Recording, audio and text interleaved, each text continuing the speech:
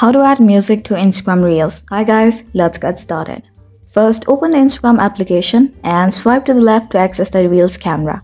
Or you could also tap on this plus icon right here and go to Reels. Now record or upload the video that you want to use in your Reel. If you want, then you can select the music first and then record the video later, or you could record the video first and then add the music later. So that's what I'm gonna do right now.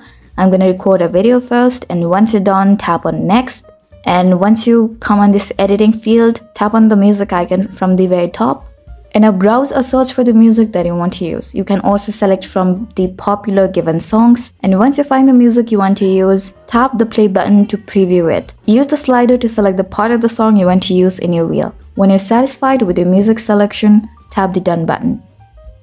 Now continue editing your reels by adding effects, text and stickers. And now finally you could also add additional captions to it once you're done with everything, tap the share button to publish your reel. But make sure you have the latest version of the Instagram app installed on your device to access this feature. And also keep in mind that some music may not be available in all countries due to copyright restrictions, to be sure to check that. So this is basically how you add music to Instagram Reels.